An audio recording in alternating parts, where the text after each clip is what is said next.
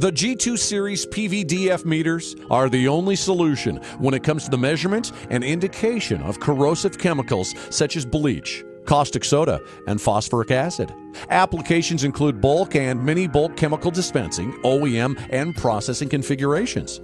These meters feature only two wetted parts with no metallic parts in the fluid stream, making it the best solution for these applications. The G2 Series PVDF meters are available in two sizes 1 half inch and 1 inch, covering flow ranges from 1 to 50 GPM. The unique True Union design incorporates standard end connections of female NPT or female ISO fittings. The True Union connections also enhance installation and removal into lines and allow easy access to the one piece rotor and support module for maintenance and replacement. The self contained battery powered display indicates rate of flow, total flow, and features a resettable total with standard units of measure in gallons and liters. Additional measurement units, such as cubic feet, cubic meters, and barrels, may also be activated.